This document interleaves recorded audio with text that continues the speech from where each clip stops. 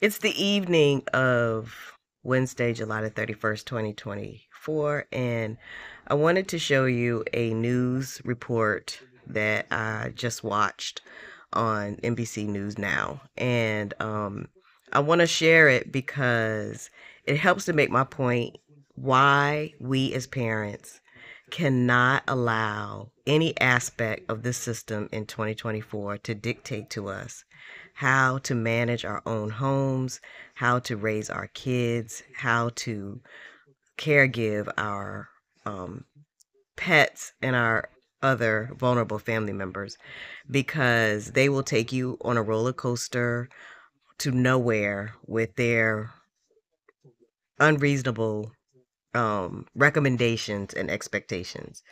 This particular news report is on concerns administrators have about telephones in the schools.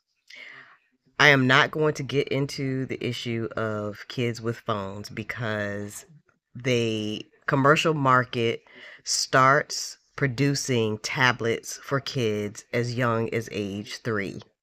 So we're not even going to get into the issue of what is the appropriate age for a child to have a phone. It doesn't have to be a phone. We're talking about the use of devices versus them being out in nature and being able to explore and discover within their own giftings. But my bigger issue is that it is a perfect example of how this system wants to take over control of our children, but have no idea how to raise them teach them or lead them. And when things do not when they are not compliant because they are kids who come from a home where they have have had that laid as a foundation for them then they want to throw it back on the parent and make it the parents not only the parents responsibility to fix the problem that they created but they also want to blame the parent for the problem in the first place. So um, i'm going to show you this clip now and validate parents, especially mothers, because it's it was just I had to pause it because again with the mom shaming, um, they can't continue to do this to you all. They've never been able to do it to me.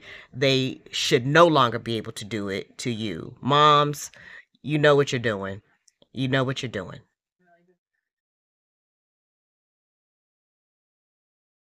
Welcome back. Time now for the future of everything. Last night we showed you some New York area teenagers who went on a phone fast to see if it improved their mental health. But what are schools doing about this crisis? Principals are becoming more worried about screen time during school days.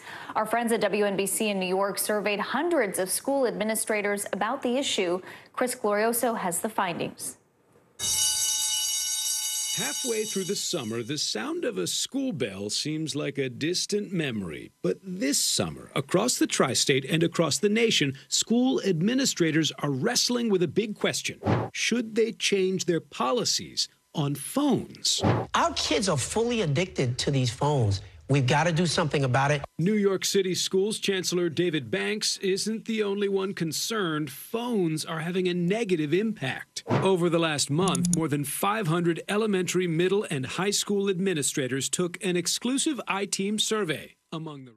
Here you can see more than half of the administrators polled say that students can bring smartphones to school, but they must be kept in their lockers or in pouches, except for in cases of emergency. Among the results, 74% of principals and vice principals think these phones are making students depressed, anxious, or lonely. 88% of administrators told us the phones are making students distracted or tired. And 85% of principals think the phones are amplifying student conflict or bullying. It is not the phone that is causing these problems. If the phones were turned off, they would do nothing to the children. It is the content on their phone and where it is coming from. How do they connect to the internet when they're in school? Is there a way to block their ability to use data usage while they're in school? The fight that happened down in the cafeteria, and all of a sudden it's trending. Newburgh Free Academy principal Matteo Dotto is one of the administrators who took our survey. He told us one of the biggest problems with phones in schools is they tend to amplify conflict. When the phones were everywhere in this school building, Was it the case that the worst thing that happened during the day became that which scrolled across every kid's phone? Was it a race to the bottom? Yeah, absolutely. It was negative. It was violent or it was bullying, it was attacking. In our iTeam survey, school administrators also answered an open ended question with revealing answers. The way this data is presented is skewed, but it doesn't matter because it still allows me to make my point that administrators want better parental supervision of phones, something that a lot of parents want too. But what is the barrier to parents being able to supervise their children's devices? Please see my video on the problem with parental supervision and preloaded apps answers. One of them writing smartphones are contributing to increased vaping and drug use in schools because students can text or message each other to coordinate selling and using substances. Another wrote, even in an elementary school, the influence that social media has on my students is ridiculous. They think recess is boring. I worry about the future. Our survey also found distractions in school don't always come from other students. 65% of the administrators we polled said most or many students get daily calls or texts from their parents during instructional time. These kind of go together, don't they?